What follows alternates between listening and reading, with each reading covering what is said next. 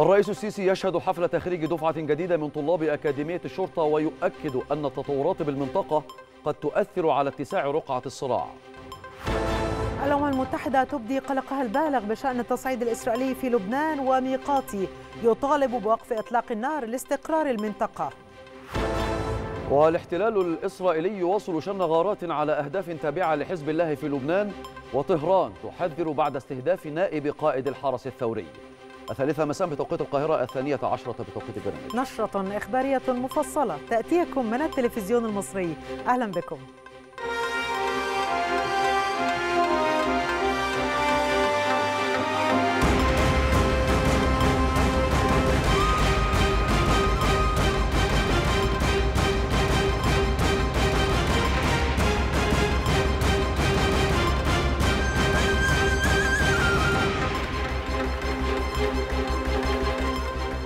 صرح علمي أمني شامخ حمل على مر التاريخ مشعل العلم في خدمة الأمن فهي ملحمة الوطنية ومصنع الرجال.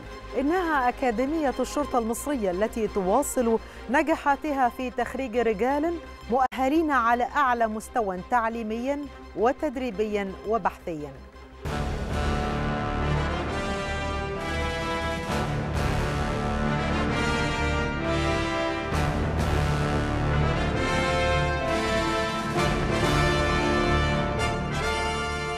المنطقة والعالم بتمر بظروف صعبة جدا. حرصنا في مصر إن إحنا تبقى سياستنا سياسة متوازنة جدا في ظل هذا الاضطراب الخطير اللي موجود. وإحنا حذرنا منه وقلنا إن استمراره هيؤدي إلى عواقب آه، خطيرة في منطقتنا.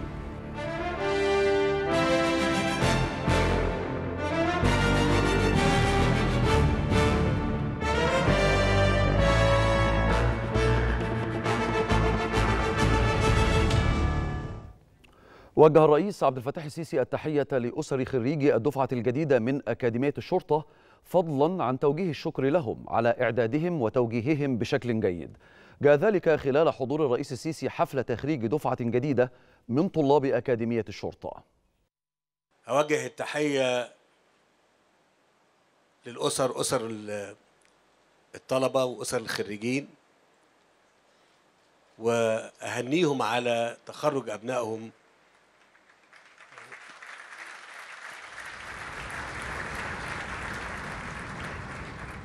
وأشكرهم أيضا على إن هم يعني أعدوا أبنائهم وبنا- أبنائهم وبناتهم عشان يبقى كلامنا دقيق يعني وجهزوهم بشكل جيد جدا وبعدين قدموهم آه، هنا لبلدهم مصر عشان يشاركوا في حماية أمنها واستقرارها. فأنا بشكرهم وبهنيهم وإن شاء الله نشوف أبنائهم دايما في أفضل الحالات. واسمحوا لي إن أنا أشكر ال- الخريجين وطلبة الأكاديمية والقائمين على العملية التعليمية والتدريبية في الأكاديمية على الجهد وعلى الأداء المتميز اللي تميزت به الكلية خلال مش بس التخرج واحتفالات ال- التخرج النهارده لكن الحقيقة أنا يعني بتيجي لي فرصة إن أنا آجي مرات وبطمن على الكلية وعلى الأداء اللي موجود بشكل آه، يعني بسيط خالص خالص من غير ما نعمل آه، يعني عشان أبقى مطمن إن الأمور ماشية بشكل كويس. والحقيقة كل مرة بنيجي بنطمن وبنسعد بالمستوى ولسه لسه في أفضل من كده.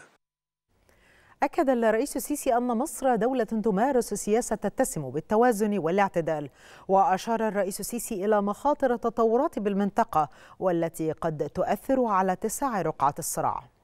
المنطقة والعالم بتمر بظروف صعبة جدا وإن إحنا حرصنا في مصر إن إحنا تبقى سياستنا سياسة متوازنة جدا في ظل هذا الاضطراب الخطير اللي موجود وإحنا حذرنا منه وقلنا إن استمراره ويعني هيؤدي إلى عواقب آه، خطيرة في منطقتنا ويمكن في العالم. وبالتالي محتاجين في بلدنا مصر إن إحنا نبقى متفاهمين لده ونبقى متمسكين بثوابتنا. ثوابتنا إن إحنا حريصين على إن إحنا نكون آه، بنمارس سياسة تتسم بالتوازن والاعتدال والموضوعية. و- وده اللي إحنا ماشيين عليه بقالنا سنين والحقيقة إحنا في ظل الظروف اللي موجودة يعني على حدودنا ال- ال- الغربية والجنوبية و- ودلوقتي بقالنا سنة تقريبا على حدودنا الشرقية. والتطورات اللي بتحدث وانتوا طبعا متابعين كل حاجة. آه، هل هل ده يعني يجعل أو يخلي شعب مصرنا إن هو يبقى شعب مصر قلق؟ بدون شك. لازم نبقى قلقانين عشان التطورات اللي بتحدث خطيرة جدا وممكن تؤدي إلى يعني توسع أو اتساع رقعة الصراع في المنطقة بشكل آه، يؤثر على الاستقرار في المنطقة. وإحنا آه، يعني بقالنا تقريبا آه، قناة السويس تقريبا أكتر من 50 60% من دخلها. إحنا فقدناه أكتر من 6 مليار دولار خلال ال- السبع ثمان شهور اللي فاتوا. طمأن الرئيس السيسي الشعب المصري أن البلاد بخير وقوية رغم ما تشهده المنطقة من توترات. جاء ذلك خلال حضور الرئيس السيسي حفل تخريج دفعة جديدة من طلاب أكاديمية الشرطة. لكن عايز أطمنكم إن إحنا بخير والأمور بفضل الله سبحانه وتعالى مستقرة ومن من من يعني من جيد أو من حسن لأحسن. طول ما إحنا في مصر طول ما إحنا في مصر ثابتين ومستقرين ومتحدين جميعا إيدينا في إيدين بعض ومطمنين على إن إحنا بندير أمورنا بشكل آه، يحفظ بلدنا ويحفظ المنطقة ما أمكن ما أمكن دون التورط في يعني آه، في أمور ممكن آه، تؤثر على الأمن والاستقرار في المنطقة وفي بلدنا. طول ما إحنا كمصريين آه، متماسكين ومتحملين هقولها بالطريقة ديت متحملين. حذر الرئيس عبد الفتاح السيسي المواطنين من الشائعات التي يروج لها البعض وأشار الرئيس السيسي إلى أن الفترة الحالية والشهور الماضية شهدت كما كبيرا من الشائعات. من فضلكم. من فضلكم انتبهوا جدا لأن طبعا في الفترة ديت ويمكن خلال الشهور اللي فاتت حجم الكذب وحجم الإفك وحجم الافتراء وحجم الشائعات كان ضخم جدا جدا. ما هو انتبهوا إن أنتوا أنتوا اللي واقفين دلوقتي يا مصريين. مش عايز أزيد في الكلام كتير لكن المفكرين والمثقفين والإعلام واضح المهمة بالنسبة له وواضح الخطر بالنسبة له. عملية ال ال الكذب زي ما بقول كده والشائعات اللي بت- بتطلق هنا وهنا واتهامات مش ليس لها والله أساس من الصح كلها. من فضلكم انتبهوا جدا. خلال الشهور اللي فاتت حجم الكذب وحجم الإفك وحجم الافتراء وحجم الشائعات كان ضخم جدا.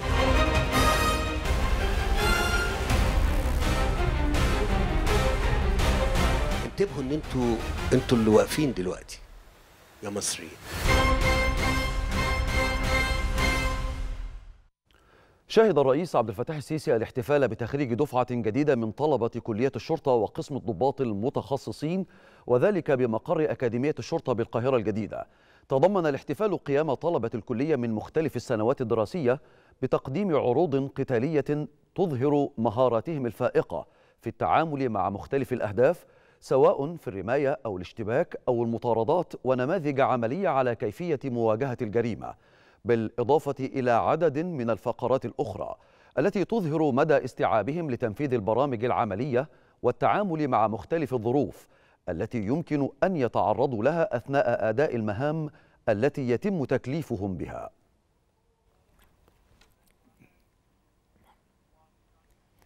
منح الرئيس عبد الفتاح السيسي أوائل الخريجين من كلية الشرطة وكلية الدراسات العليا ومركز بحوث الشرطة نوط الامتياز من الطبقة الثانية.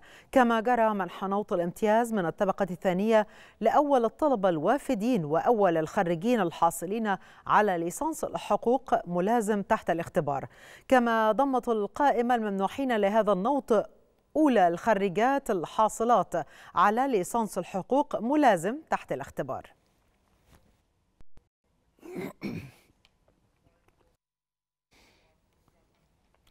قدم مساعد وزير الداخلية ورئيس أكاديمية الشرطة اللواء هاني أبو المكارم هدية تذكارية للرئيس عبد الفتاح السيسي خلال حفل, حفل تخريج دفعة جديدة من طلاب أكاديمية الشرطة.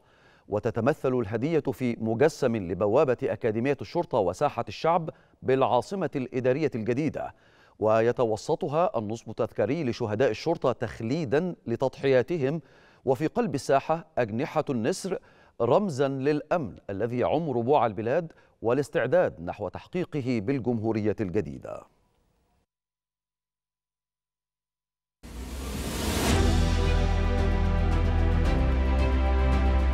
تؤكد مصر ضرورة تسوية القضية الفلسطينية وإقامة الدولة الفلسطينية المستقلة على حدود الرابع من يونيو 67 وعاصمتها القدس الشرقية. وتشدد على أهم الجاري على قطاع غزة وعلى الضفة الغربية.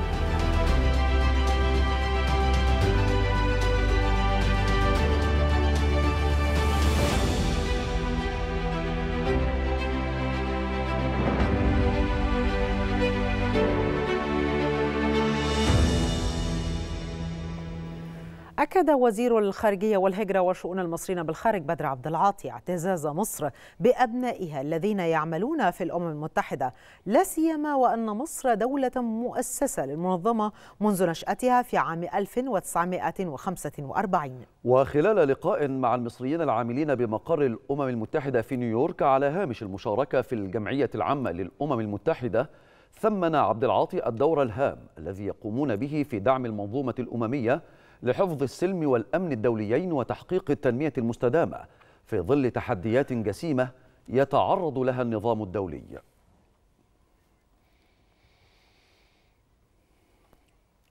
قال وزير الخارجية بدر عبد العاطي إن العدوان الإسرائيلي المستمر والغاشم على قطاع غزة والحالي على الضفة الغربية يمثل وصمة عار حقيقية على جبين المجتمع الدولي ومؤسساته. وخلال كلمته أمام الجمعية العامة في الأمم المتحدة شدد عبد العاطي على أن العدوان على لبنان يشكل انتهاكا صارخا للسيادة وسلامة الشعب اللبناني لافتا إلى أن الأولوية القصوى في الوقت الحالي هي وقف حمام الدم بشكل فوري.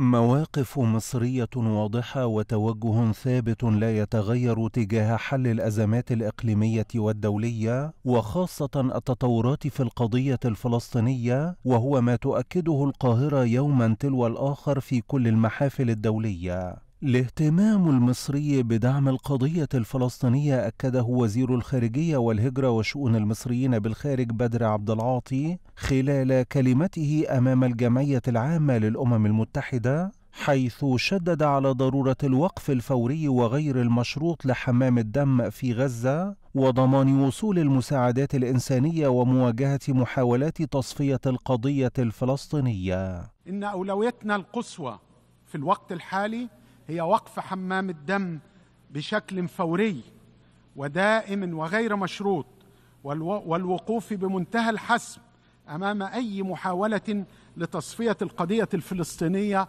عبر التهجير أو سياسات الإحلال السكاني فضلا عن الأهمية البالغة للنفاذ الكامل وغير المشروط للمساعدات الإنسانية والطبية إلى سكان القطاع المدنيين العزل.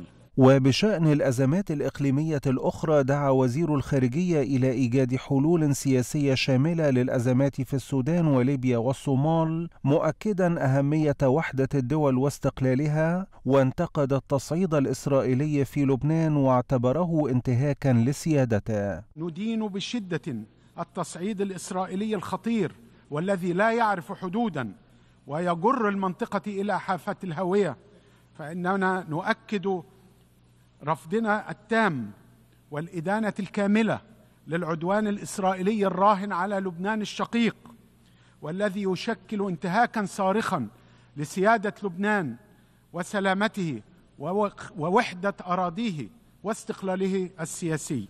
في سياق آخر أشار وزير الخارجية خلال كلمته إلى أزمة سد النهضة منتقدا التعنت الإثيوبي وتجاهلها للقوانين الدولية ومحذرا من أن مصر لن تتسامح مع أي تهديد وجودي لنهر النيل. وستستمر مصر في مراقبة تطورات عملية ملء وتشغيل السد الإثيوبي عن كثب محتفظة بكل حقوقها المكفولة بموجب ميثاق الأمم المتحدة لاتخاذ التدابير اللازمة دفاعا عن مصالح وبقاء الشعب المصري العظيم.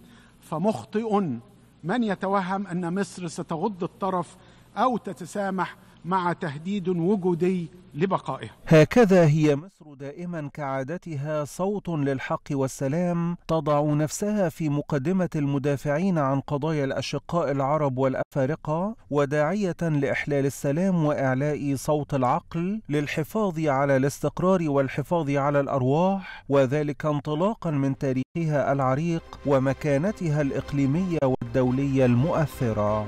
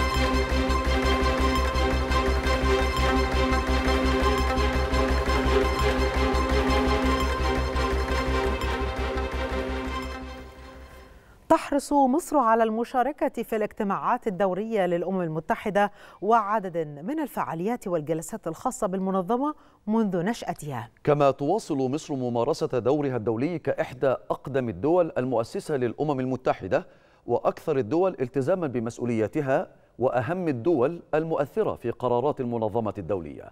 المزيد مع الزميل مصطفى ميزار. أهلا بحضراتكم.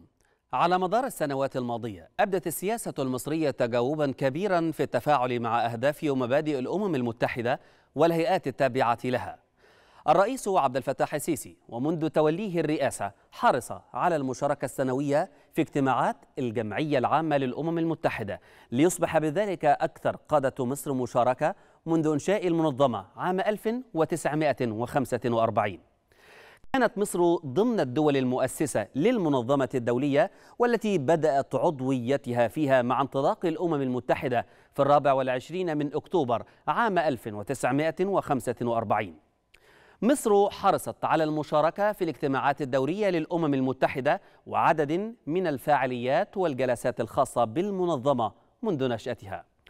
الرئيس عبد الفتاح السيسي شارك في اجتماعات الدورة التاسعة والستين في سبتمبر من عام 2014 وتطرق خلال كلمته إلى طبيعة ما قام به الشعب المصري من تحولات تخلص خلالها من قوى التطرف والظلام واستعاد مسيرته المعتادة في ركب الحضارة الإنسانية وأدت كلمات الرئيس بالفعل آنذاك إلى تفهم دولي لما يدور في مصر من خطوات على طريق بناء دولة مدنية حديثة. في سبتمبر من عام 2015 شاركت مصر بقيادة الرئيس عبد الفتاح السيسي في اجتماعات الدورة السبعين حيث تطرق إلى عدد من الموضوعات الدولية وكيفية التعامل مع الشباب والاستفادة من طاقتهم في دفع عملية التنمية. شاركت مصر أيضا بقيادة الرئيس عبد الفتاح السيسي في اجتماعات الدورة الحادية والسبعين عام 2016 والتي عقدت تحت عنوان قمة الأمم المتحدة المعنية باللاجئين والمهاجرين. الرئيس عبد الفتاح السيسي شارك كذلك في اجتماعات الدورة الثانية والسبعين عام 2017 والتي تطرقت إلى مخاطر الإرهاب تحت عنوان على الشعوب السعي إلى تحقيق السلام والحياة الكريمة. وعلى هامش مشاركة الرئيس عبد الفتاح السيسي في الدورة الثانية والسبعين للأمم المتحدة عقد الرئيس السيسي 22 لقاء بارزا. منهم لقاءات مع ترامب ونتنياهو والرئيس الفلسطيني ورئيس البرازيل وشركات أجنبية. واهتم السيسي بإبراز ملامح برنامج الإصلاح الاقتصادي المصري وتعزيز أهمية إقامة دولة فلسطينية. في عام 2018 شاركت مصر في الدورة الثالثة والسبعين للجمعية بحضور الرئيس السيسي حيث استعرض أجندة زاخرة بقضايا دولية وإقليمية وقومية هامة بالإضافة إلى جهود مصر في محاربة الإرهاب. في عام 2019 شاركت مصر في الدورة الرابعة والسبعين للجمعية العامة للأمم المتحدة وألقى خلالها الرئيس عبد الفتاح السيسي بيان مصر واستعرض خلال هذا البيان المواقف المصرية إزاء القضايا الإقليمية ومنطقة الشرق الأوسط. في الثلاثين من سبتمبر من عام 2020 شاركت مصر في الدورة الخامسة والسبعين لاجتماعات الجمعية العامة للأمم المتحدة بقيادة الرئيس عبد الفتاح السيسي عبر الفيديو كونفرنس. وتطرق الرئيس وقتها في بيانه إلى عدد من القضايا الإقليمية الدولية وصيانة السلم والأمن الدوليين. أما في عام 2021 فقد شارك الرئيس السيسي بكلمة مسجلة في الدورة السادسة والسبعين للجمعية العامة للأمم المتحدة. أكد خلالها أنه لا سبيل لاستقرار الشرق الأوسط دون التوصل إلى حل عادل ودائم وشامل للقضية الفلسطينية والتي كانت وما زالت القضية المركزية للأمة العربية وذلك عبر التفاوض استنادا إلى مقررات الشرعية الدولية لإقامة دولة فلسطينية على حدود الرابع من يونيو عام 1967 وعاصمتها القدس الشرقية. في عام 2022 شاركت مصر في الدورة السابعة والسبعين لاجتماعات الجمعية العامة للأمم المتحدة والتي ناقشت العديد من القضايا والتحديات التي تواجه العالم والدور المتوقع والمطلوب أن تطلع به الأمم المتحدة لضمان احترام قواعد القانون الدولي والاستجابة لتطلعات شعوب العالم دون تفرقة. أما في عام 2023 فقد شاركت مصر في الدورة الثامنة والسبعين للجمعية العامة للأمم المتحدة والتي انعقدت تحت عنوان إعادة بناء الثقة وإحياء التضامن العالمي بهدف تعزيز العمل المشترك نحو تحقيق أجندة 2030 وأهداف التنمية المستدامة وبما يحقق السلام والازدهار والتنمية للجميع. شاركت مصر كذلك في عدد من الجلسات والقمم الخاصة بفلسطين ومن ضمنها جلسة الإقرار بأحقية دولة فلسطين في العضوية الكاملة بالأمم المتحدة والتي انعقدت في العاشر من مايو الماضي. وهكذا تواصل مصر ممارسة دورها الدولي كإحدى أقدم الدول المؤسسة للأمم المتحدة وأكثر الدول التزاما بمسؤولياتها وأهم الدول المؤثرة في قرارات المنظمة الدولية.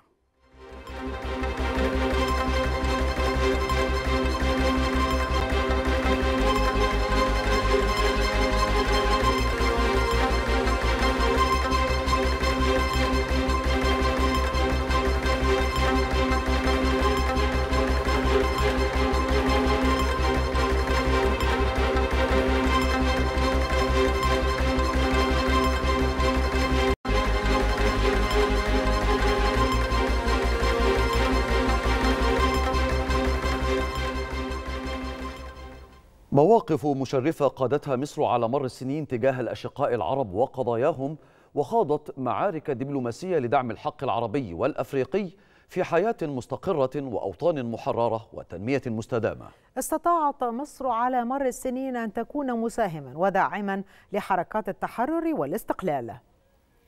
كانت مصر ولا زالت القلب النابض بمسؤولياته التاريخية في الدفاع عن القضايا العربية والإفريقية. فضلا عن دعم قضايا السلم والأمن الدوليين وعن كونها مساهم رئيسي بالقوات في عمليات حفظ السلام التابعة للأمم المتحدة. بدأت مصر جهودها مع مجلس الأمن الدولي ومنظمة الأمم المتحدة لاستقرار المنطقة منذ إنشاء المجلس، فمصر كانت ضمن الدول الإحدى والخمسين المؤسسة للأمم المتحدة وبدأت عضويتها فيها مع انطلاق المنظمة الدولية في الرابع والعشرين من أكتوبر عام 1945 منذ انتخاب مصر كعضو غير دائم في مجلس الأمن الدولي طرحت العديد من المبادرات التي تصب في خدمة القضايا العربية والإسلامية والدولية وبما يصب في تحقيق الهدف الرئيسي وراء هذه العضوية وهو العمل على منع مسببات تهديد السلم والأمن الدوليين. وفي ضوء رئاستها للجنة مكافحة الإرهاب بمجلس الأمن الدولي ترأست مصر في الثامن والعشرين من يونيو عام 2017 اجتماعا بمجلس الأمن الدولي حول تحديات مكافحة الإرهاب في ليبيا.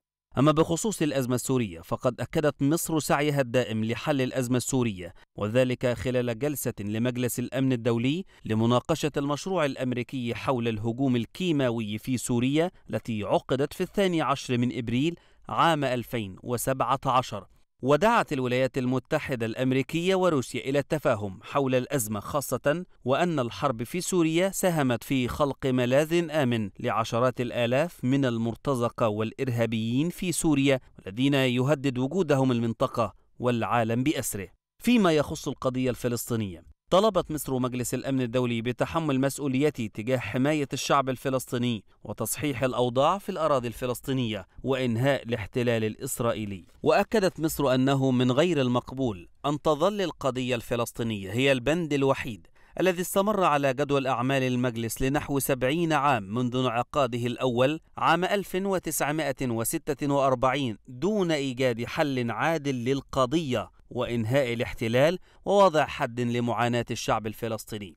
كما أكدت مصر أن ترك القضية الفلسطينية عالقة دون السعي إلى حل حقيقي على أساس حل الدولتين يمثل قنبلة موقوتة ستنفجر حتميا وستخرج الأمور عن السيطرة في الشرق الأوسط. فيما يخص الأزمة السودانية بذلت الدولة المصرية الكثير من الجهود لاحتواء الأزمة والحيلولة دون الدخول في نفق الحرب الأهلية المظلم. وشددت الدولة على أهمية الحفاظ على مؤسسات الدولة الوطنية في السودان والتأكيد على أن الأزمة في السودان أمر يخص الأشقاء السودانيين وتؤكد مصر دائما احترامها الكامل لإرادة الشعب السوداني.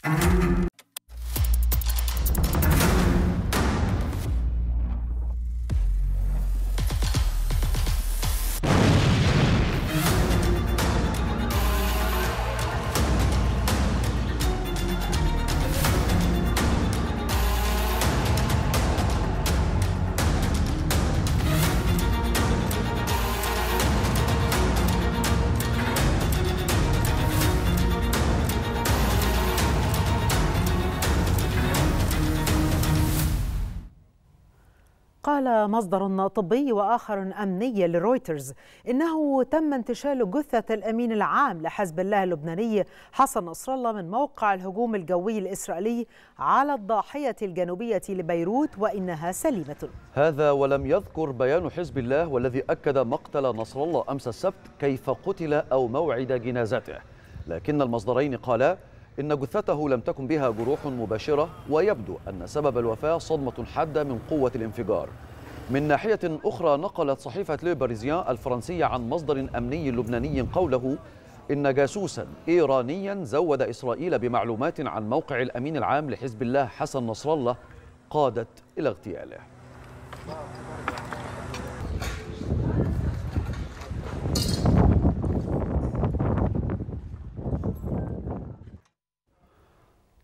أعلن رئيس حكومة تصريف الأعمال في لبنان نجيب ميقاتي إن عدد النازحين قد يصل إلى مليون شخص من الجنوب والبقاع والضاحية الجنوبية مؤكدا أن النزوح الحالي قد يكون الأكبر في تاريخ لبنان. وفي تصريحات له عقب اجتماع لجنة الطوارئ الحكومية طالب ميقاتي بوقف إطلاق النار على كل الجبهات ليحل الأمن والاستقرار في المنطقة.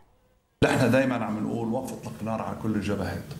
يجب أن توقف وقف إطلاق النار خلص يعني حتى بغزة. آه، اليوم من أول يوم كنا عم نقول إذا وقف إطلاق النار من مش من عش من سبع ثمان أشهر نحن عم ننادي وقف إطلاق النار بغزة يوقف الإطلاق النار بلبنان تلقائيا يعود السكان إلى شمال إسرائيل وتعود الأمور كما هي ونحن بناخذ وقت لحتى نقدر نطبق 1701 كامل. هيدا ندائنا إنه يصير في وقف إطلاق النار على كل الجبهات لحتى حقيقة يحل الأمن الأمن والاستقرار بالمنطقة. دعا بطريرك المورنة في لبنان بشار بطرس الراعي وهو أكبر رجل دين مسيحي في البلاد إلى اتباع الطرق الدبلوماسية لإنهاء الأعمال القتالية الدائرة بين إسرائيل وحزب الله اللبناني. وأضاف البطريرك الراعي أن اغتيال إسرائيل للأمين العام لحزب الله حسن نصر الله في ضربة كبيرة استهدفت المقر المركزي للحزب في الضاحية الجنوبية لبيروت جاء ليفتح جرحا في قلب اللبنانيين.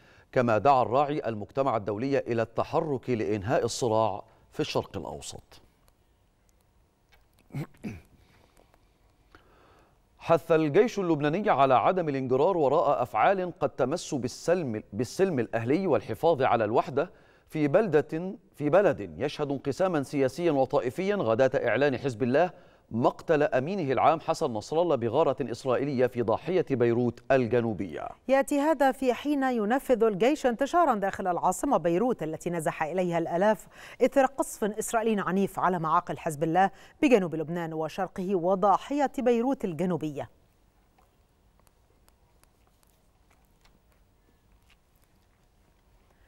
أعرب الأمين العام للأمم المتحدة أنطونيو غوتيريش عن قلقه البالغ بشأن التصعيد والعدوان الإسرائيلي المستمر على لبنان.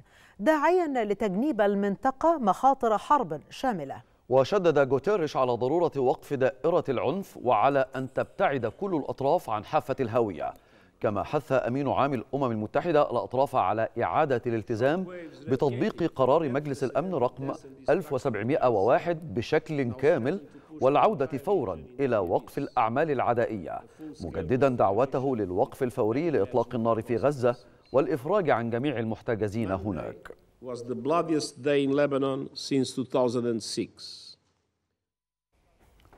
أعلن جيش الاحتلال الإسرائيلي شنغ عشرات الغارات الجديدة على أهداف تابعة لحزب الله في لبنان بعد يومين على اغتيال أمينه العام حسن نصر الله في غارة إسرائيلية. قال الناطق باسم الجيش الإسرائيلي أن طائرات سلاح الجو هاجمت عشرات الأهداف في لبنان خلال الساعات الأخيرة مشيرا إلى أن هذه الغارات تستهدف مواقع إطلاق صواريخ باتجاه إسرائيل ومخازن أسلحة.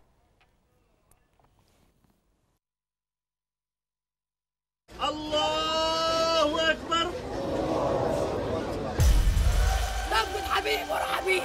بفقد غالي ورا غالي.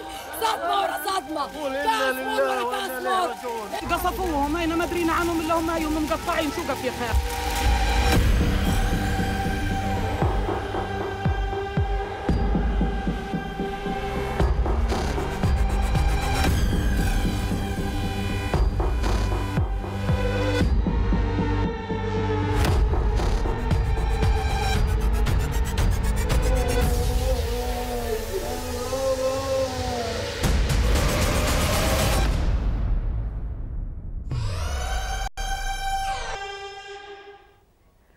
استشهد ثلاثة فلسطينيين في قصف طائرات الاحتلال الإسرائيلي محيط مستشفى كمال عدوان في مخيم جباليا شمال غزة ومخيم النصيرات وسط القطاع. كما أطلقت زوارق حربية إسرائيلية قذائف صوب منازل المواطنين في مخيم الشاطئ غرب مدينة غزة.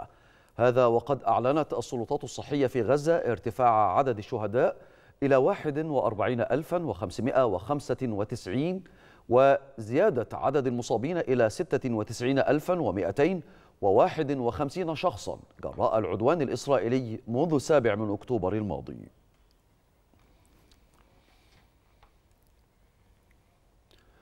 اعتقلت قوات الاحتلال الإسرائيلي أكثر من عشرين فلسطينيا من مناطق متفرقة في الضفة الغربية المحتلة. أفادت مصادر أمنية فلسطينية بأن ثلاثة شبان أصيبوا برصاص الاحتلال الإسرائيلي فجر اليوم خلال اقتحام بلدة عقابة شمال طوباس. كما أفادت مصادر بالهلال الأحمر بأن قوات الاحتلال اعتقلت مصابا بعدة رصاصات خلال تقديم الإسعاف له فيما منعت الوصول إلى مصاب ثالث على سطح أحد المنازل.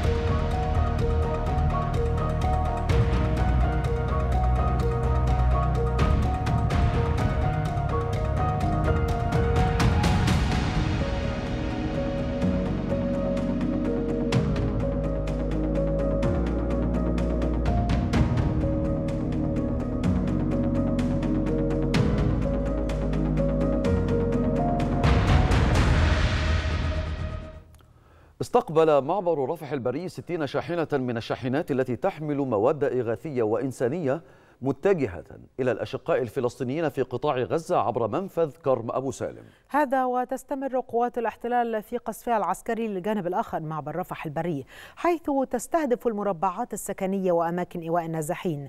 مزيد من التفاصيل مع الزميل محمد الخطيب من رفح. نعم مشاهدينا الكرام بعد التحية لازلنا نتابع معكم كل الجهود المصرية المبذولة من أجل إنفاذ المساعدات المختلفة إلى الأشقاء الفلسطينيين في قطاع غزة. اليوم عادت مرة أخرى حركة استئناف المساعدات من ميناء رفح البري إلى منفذ كرم أبو سالم. وبالفعل يعني من توجه اليوم إلى منفذ كرم أبو سالم؟ يعني حوالي 50 شاحنة من الشاحنات التي تحمل مواد غذائية وإنسانية. والآن نرى معكم هذه الشاحنات التي تعود مرة أخرى إلى محيط معبر رفح من الجانب المصري بعد أن قامت بتفريغ حمولتها.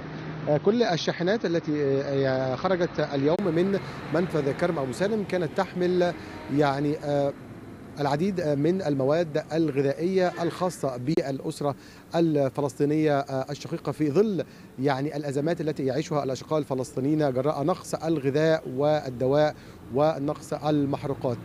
أيضا نشير هنا إلى أن قوات الاحتلال الإسرائيلي سمحت لحوالي 11 شاحنة من الشاحنات التي تحمل محروقات متنوعة ما بين السولار والغاز بتفريغ حمولتها وهذه الشاحنات عادت مرة أخرى إلى الأراضي المصرية ما قام بتفريغ حمولته بإجمالي الخمسين شاحنة حوالي 14 شاحنة فقط. وقوات الاحتلال الإسرائيلي رفضت 14 شاحنة من الشاحنات التي تحمل مواد غذائية وإنسانية. على صعيد العمليات العسكرية نسمع معكم الآن الطائرة الزنانة التي يعني تحوم في السماء. هذه الطائرة التي هي إنذار شؤم وتنذر بوقوع ضربات في مناطق مختلفة ومتفرقة في الجانب الآخر من معبر رفح البرية وبالتحديد في المنطقة التي يعني تستهدف فيها قوات الاحتلال الإسرائيلي المربعات السكنية.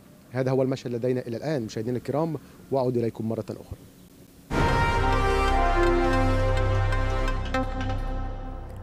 أطلقت حياة كريمة مبادرة لتوفير اللحوم والدواجن بأسعار مخفضة للمواطنين في مدينة السلام لتكون في متناول الجميع حيث تقدم لحوما بلدية طازجة بجودة عالية تخضع لرقابة بيطرية صارمة لضمان سلامتها وجودتها. تشهد المبادرة إقبالا كثيفا من المواطنين على المنافذ لبيع اللحوم والدواجن التابعة لحياة كريمة. أكد المواطنون أهمية المبادرات التي توفر لهم حياة كريمة في ظل الظروف الاقتصادية الراهنة.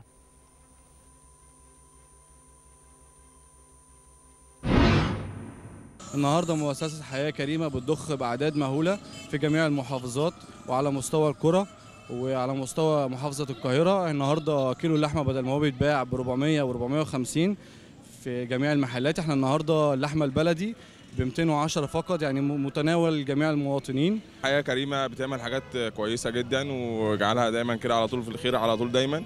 ودايما بتفاجئونا بحاجات دايما على طول كده بالدعم على طول بتاعكم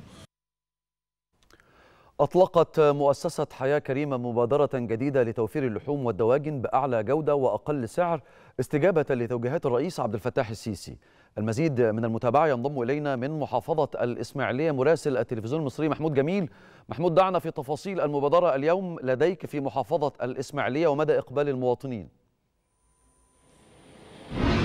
أرحب بك يوسف من محافظة الإسماعيلية حيث نتابع منذ صباح هذا اليوم هذه المبادرة الهامة التي أطلقتها مؤسسة حياة كريمة والخاصة بتوفير اللحوم سواء كانت الطازجة أو المجمدة في عدد من المنافذ بمحافظة الإسماعيلية. هذه المبادرة التي تأتي تنفيذا لتوجيهات الرئيس عبد الفتاح السيسي بالتخفيف عن المواطنين. هذه المبادرة التي بدأت اليوم في محافظة الإسماعيلية وتشهد إقبالا منذ صباح صباح هذا اليوم. يتم توفير هذه اللحوم الطازجة البلدي بسعر 310 جنيهات.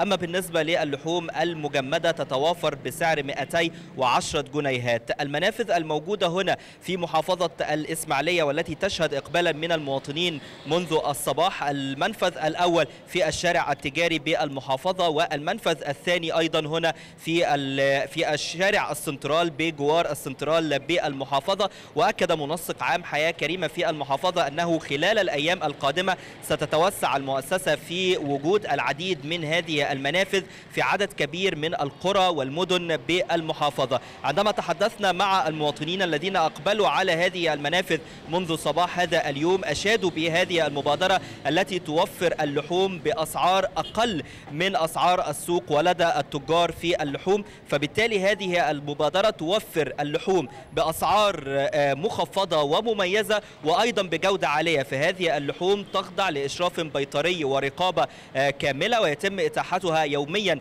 للمواطنين في هذه المنافذ وستستمر هذه المبادرة خلال الأيام القادمة في محافظة الإسماعيلية بالتوازي طبعا والتزامن مع وجودها في عدد كبير من المحافظات. وربما أشاد أيضا المواطنون بهذه المبادرة وقدموا الشكر للرئيس عبد الفتاح السيسي لاهتمامه بالمواطنين وأيضا يعني الأسر الأكثر احتياجا في هذه المبادرات وليست هذه هي المبادرة الأولى التي تقدمها مؤسسة حياة كريمة للمواطنين خاصة في محافظة الإسماعيلية ولكن كان قد سبقها مبادرات خاصة بالأدوات المدرسية في بداية العام الدراسي الجديد وتستكمل مؤسسة حياة كريمة انطلاقا من دورها الإنساني والاجتماعي أيضا تجاه دعم المواطنين وتقديم كل ما يليق بهم في المبادرات المجتمعية المختلفة فهذه نعم. المبادرة مبادرة اللحوم وأيضا آه، يعني تنضم إليها الدواجن بأسعار مم. مخفضة ستستمر في المحافظة خلال الأيام القادمة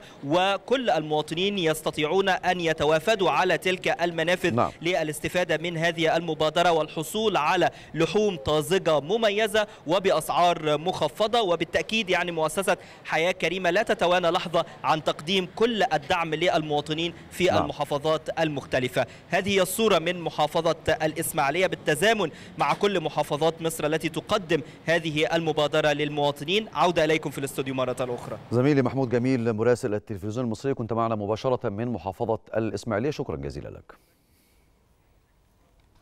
وأطلقت حياة كريمة مبادرة لتوفير اللحوم والدواجن بأسعار مخفضة للمواطنين في دار السلام حيث بلغ سعر اللحوم 210 جنيهات للكيلو. تأتي المبادرة تنفيذا للتوجيهات الرئاسية بضرورة رفع المعاناة عن كاهل المواطنين والوصول إلى أكبر شريحة ممكنة في المناطق الشعبية والنائية في الحضر والريف حيث شهدت المنافذ المتنقلة إقبالا كثيفا من المواطنين على شراء اللحوم. النهارده موجودين في دار السلام في شارع الفيوم. آه، عشان خاطر آه، نبقى موجودين مع أهالينا بنقدر نوفر لهم آه، سلعه مهمة جدا وسلعه استراتيجية جدا وهي اللحمة. النهارده إحنا عاملين عرض على اللحمة قوي جدا. إحنا بنوفر كيلو لحمة ب 210 جنيه وكمان لحمة طازة مش مجمدة لحمة بلدي مطبوحة بمعرفتنا ومطبوحة في في مزارع حياة كريمة. إحنا النهارده موجودين في حي دار السلام بنبيع اللحوم بلدي بأسعار مدعمة تنفيذا لتوجيهات الرئيس عبد الفتاح السيسي. وحرصه على دعم الأسر آه، الأولى آه، الأولى بالدعم آه، بدعم في السلع الغذائية. وإن شاء الله إحنا مستمرين على مدار اليوم حتى ننفذ الكمية. إحنا النهارده موجودين في دار السلام معانا 250 كيلو لحم بقري صافي عشان نفرح أهالينا ويا رب يكونوا مبسوطين. موجودين النهارده في دار السلام وموجودين في أكتر من نقطة وعلى مدار كل يوم بنبقى في أماكن مختلفة.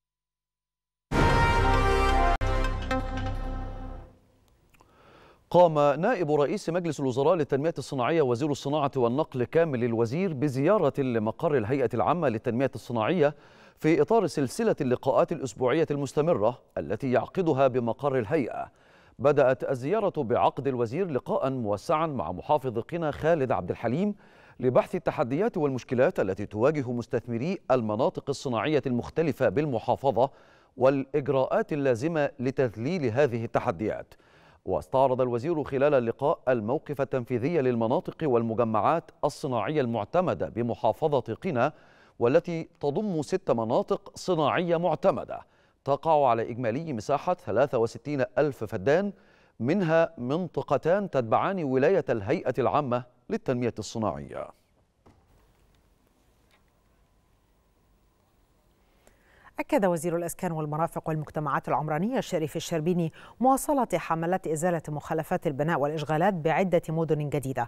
أضاف الوزير أنه لا تهاون لردع المخالفين حيث يتم الحزم في تطبيق القانون على الجميع للقضاء على الظواهر العشوائية وحفاظا على المظهر الحضاري للمدن الجديدة وحفاظا على هيبة الدولة.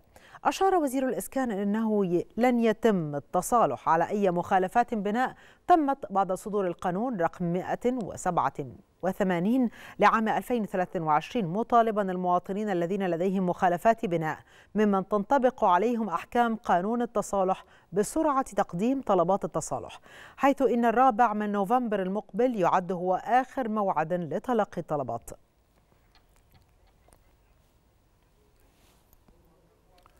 كثفت أجهزة تنمية سوهاج الجديدة وبدر والسادات ودمياط الجديدة أعمال التطوير ورفع الكفاءة الجارية بمنظومة الطرق والمرافق والزراعة والنظافة وذلك للحفاظ على المظهر الحضاري للمدن الجديدة.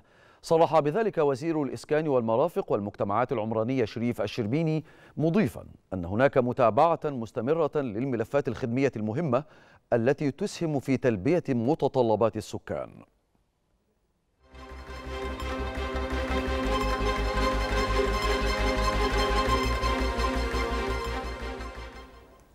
نظمت وزارة الصحة والسكان برنامجا تأهيليا لأطباء الأمراض الصدرية العاملين بالوزارة بالتعاون مع الجمعية المصرية للشعب الهوائية لتأهيلهم لاجتياز اختبار التعليم المنسق في الطب بالجهاز التنفسي للمتخصصين الأوروبيين. يأتي البرنامج التأهيلي ضمن استراتيجية الوزارة لرفع كفاءة الكوادر الطبية وتأهيلها على مستوى المعايير الأوروبية بهدف تعزيز المعرفة لدى أطباء الصدر بأحدث المستجدات العلمية وتمكين الأطباء من الحصول على الشهادات المعتمدة دوليا لنقل الخبرات العالمية في مجال تشخيص وعلاج الأمراض الصدرية.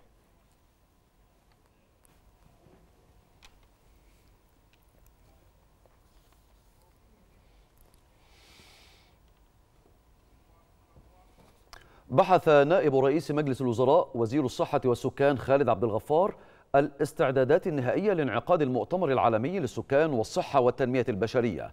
وخلال الاجتماع الذي عقده مع قيادات الوزارة والشركة المنظمة للمؤتمر أكد عبد الغفار أن النسخة الثانية من المؤتمر العالمي للسكان والصحة والتنمية البشرية ذات طابع خاص بعد ضم ملف التنمية البشرية وبناء الإنسان المصري تنفيذا لتوجيهات الرئيس عبد الفتاح السيسي بالتوسع في موضوعات الجلسات والمناقشات لتضم موضوعات عن ملف التنمية البشرية وذلك بمشاركة المجموعة الوزارية للتنمية البشرية والوزارات والجهات المعنية بملف التنمية البشرية مؤكدا أن القضية السكانية هي قضية تنمية بشرية.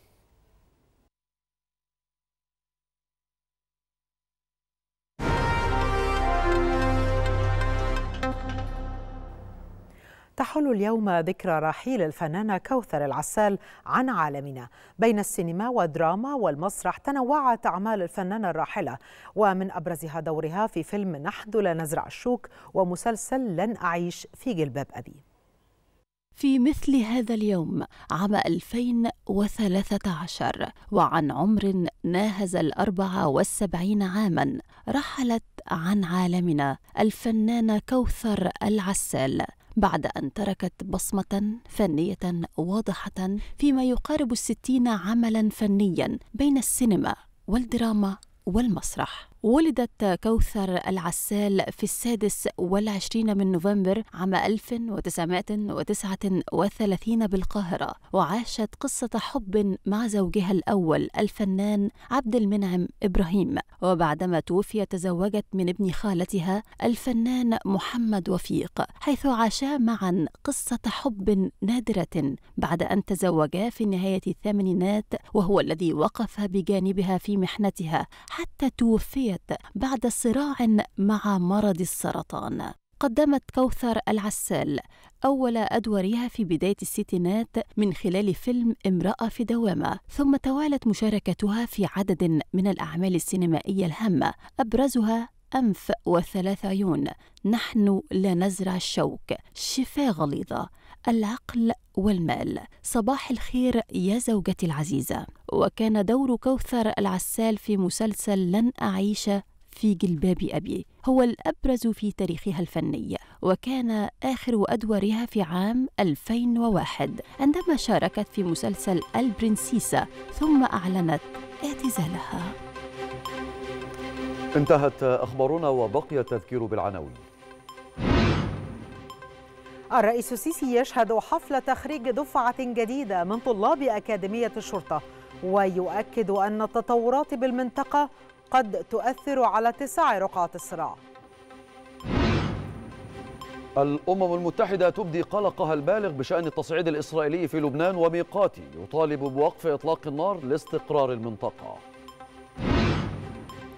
الاحتلال الإسرائيلي يواصل شن غارات على أهداف تابعة لحزب الله في لبنان وطهران تحذر بعد استهداف نائب قائد الحرس الثوري. مشاهدينا الكرام وصلنا مع حضراتكم لنهاية نشرة الثالثة من التلفزيون المصري. شكرا لكم. شكرا طيب المتابعة ودمتم في أمان الله. إلى اللقاء.